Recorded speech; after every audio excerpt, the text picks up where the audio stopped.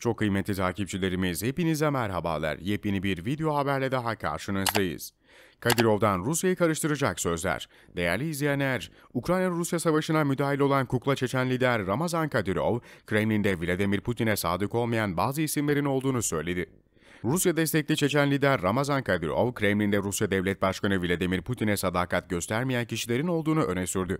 Kadyrov yaptığı açıklamada Kremlin'de Putin'e sadık olmayan liderlerin bulunduğunu iddia ederek Kremlin sözcüsü Dimitri Peskov'u hedef gösterdi. Peskov'u yeterince vatansever olmamakla suçlayan Kadyrov, bu konuda bir şeyler yapılmadığı ifadelerini kullandı. Çeçen lider, Kadyrov, Ukrayna'da cephe hattında olduğunu açıkladı. Rus siyasi analistler şimdiye kadar dokunulmaz bir figür olarak görülen Peskov'a yönelik bu eleştiriyi şaşkınlıkla karşıladı. Peskov'la Kadyrov'un eleştirilerine yanıt vermedi. Peskov, Ukrayna işgali başladıktan sonra kızının sosyal medyada savaşa hayır paylaşımı yapması sonrasında da eleştirilerin odağı haline gelmişti. Kadyrov kısa bir süre önce müzakerelerde Rus heyetine liderlik eden Vladimir Medinski'yi de eleştirmiş, Kiev'den çekilme kararının yanlış olduğunu savunmuş ve Medinski'nin susturulması söylemişti. Öte yandan Kadirov'un tepkisinin sebebinin sağda Rus kökenli askerlerle Çeçenler arasındaki bazı sorunlar olduğu da iddialar arasında.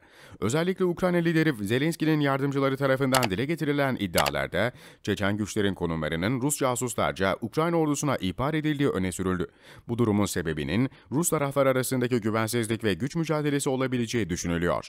Kadirov'un artan etkisinden ve kor generalliğe terfi etmesinden rahatsız olan kesimlerin sahada başarısızlık yaşaması için böyle bir adım atmış olabileceği de iddialar arasında.